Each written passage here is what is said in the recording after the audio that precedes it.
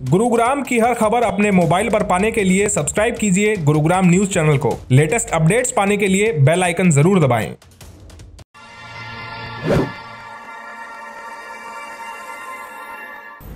नमस्कार, स्वागत है आपका गुरुग्राम न्यूज़ में, जहाँ हम दिखाते हैं खबरें सिर्फ़ आपके शहर की। गुरुग्राम में शुक्रवार को एक हुंडई वरना में आग लग गई।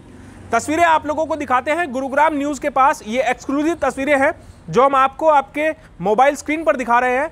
दरअसल गुरुग्राम के ओल्ड डीएलएफ कॉलोनी सेक्टर 14 में जब ये गाड़ी वहाँ से गुजर रही थी तो अचानक गाड़ी से धुआँ निकलने लगा और गाड़ी ने देखते ही देखते आग पकड़ ली।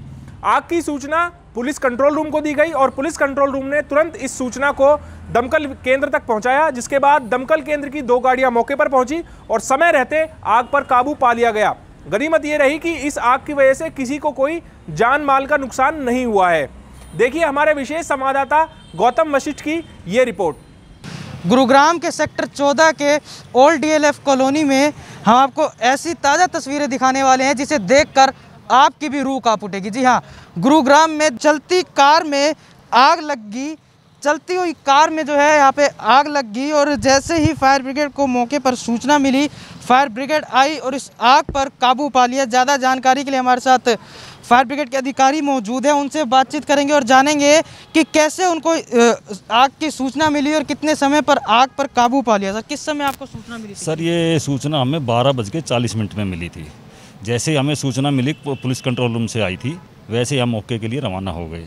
और जब यहाँ आके देखा कि गाड़ी पूरी तरह मतलब जल रही थी तो हमने 10 से 15 मिनट में ये आग पर काबू पा लिया जिसमें एक हमारी तरफ़ से गाड़ी थी और एक सेक्टर 29 से आई थी। दोनों गाड़ियों ने मिलकर यहाँ मौके पे आके आग आग पर काबू किया। कितनी देर में कब से कब लगे आपको सर यहाँ हमें 10 से 15 मिनट लगी है टोटल।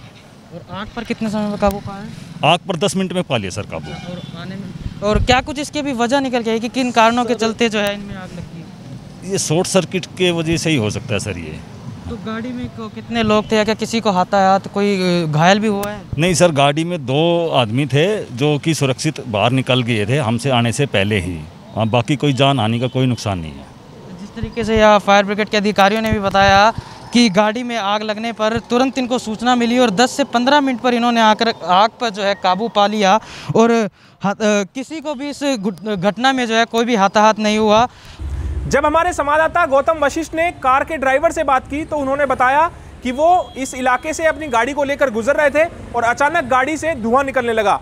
जैसे ही धुआँ गाड़ी से निकलना शुरू हुआ, ड्राइवर ने सूझबूझ दिखाई और गाड़ी को तुरंत रोक दिया और गाड़ी से बाहर निकल आए।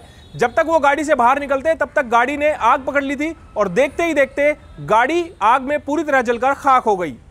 बस मैं गाड़ी ड्राइव कर रहा था एकदम धुआँ सा निकला और देखा तो आग लग गई है। हम लोग बाहर आ गए ये शुक्र है कि हम लोग बच गए बस। यही कौन सी गाड़ी थी? ये वरना।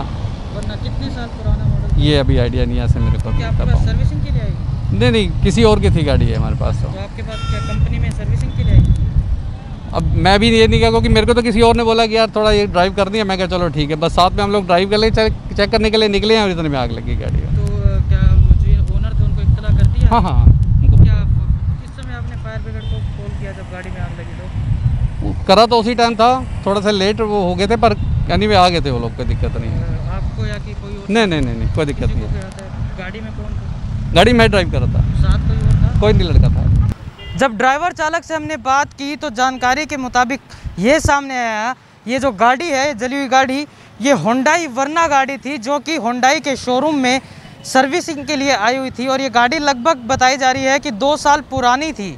मिली जानकारी के मुताबिक जो है मालूम हुआ है कि ये गाड़ी दो साल पुरानी थी, जो होंडाई की वरना गाड़ी थी, जो शोरूम में सर्विसिंग के लिए आई थी और होंडाई के जो सर्विस सेंटर के जो वर्कर है, वो इसको टेस्ट ड्राइविंग के लिए बाहर लेकर आए थे और उनका साथ ही साथ ये कहना है कि जब ये गाड़ी को लेकर आए तो इस रोड पर जब लाए तो अचानक से गाड़ी में शॉर्ट सर्किट हुआ और गाड़ी में एकदम से आग लग गई, जिसके कारण इनके भी होश उड़ गए और ये एकदम से गाड़ी में से बाहर निकले। लेकिन गरीमत की बात ये रही, गाड़ी चालक और गाड़ी के चालक के साथ जो बैठा हुआ था व्यक्ति, दोनों को कोई भी नुकसान नहीं हुआ है। आपको हमारी खबर कैसी लगी, हमें कमेंट करके ज़रूर बताएँ। साथ ही साथ आप इस खबर को शेयर भी कर दीजिएगा, ताकि ज़्यादा से ज़्यादा लोगों के पास सही जानकारी सही समय पर पहुँच पाए। नमस्कार।